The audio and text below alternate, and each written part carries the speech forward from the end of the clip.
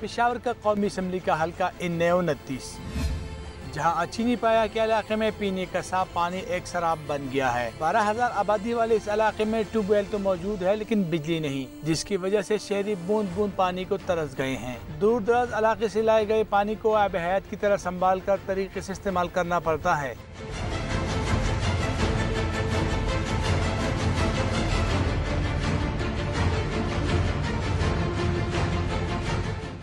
سرکاری نلکوں میں پانی کی بجائے صرف ہوا ہی آتی ہے۔ اس حل سے Peoples Party, A N P O P T I کے امیدواروں نے کامیابی حاصل کی۔ لیکن کوئی جماعت بادشاہی نہیں دکھا سکی تو کوئی روٹی، کپڑا اور مکان کا وعدہ پورے نہ کر سکی۔ تبدیلی کا نعرہ بھی بے اثر ہی رہا۔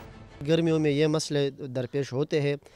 کہ پانی کے مسائل ہوتے ہیں بجلی کے مسائل ہوتے ہیں۔ چوبیس گھنٹے میں ہمیں تقریباً تیس منٹ سے پینتیس منٹ تک بجلی مہیا کی جاتی ہے اور اس میں پانی کا مسئلہ جو ہے وہ پانی کا بحران سنگین اختیار کر گیا ہے۔ کوئی بھی ووٹ کسی کو نہیں دیتا ہے لیکن بائیکاٹ کریں گے۔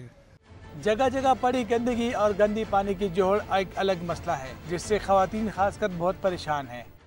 مونږ ته بس همیشي بجلی دې سم شي ګیر زمار په ذات د خدای قسم کرانه اوټ دا الله چې کم بندې چرانی نیویني نیور کوم والا؟ تمام جماعتوں سے مایوس ہو کر اب اس حلقے کی عوام نے پچیس جولائی کی عام انتخابات کی بائیکاٹ کا اعلان کیا ہے۔ یہی وجہ ہے کہ اس علاقے میں کوئی جلسہ جلوس ہو رہا ہے۔ نہ ہی کئی امیدواروں کے بینر نظر آ رہے ہیں۔ کیمرہ مین ناصر نعیم کے ساتھ مسرت اللہ، دنیا نیوز پشاور۔